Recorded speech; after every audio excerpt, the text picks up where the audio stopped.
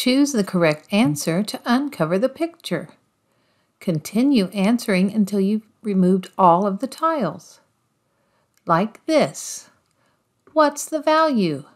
10, 20, 30, 40, 42, 44, 46. The answer is 46. Continue until you've removed all the tiles and you can see the moving picture in the background.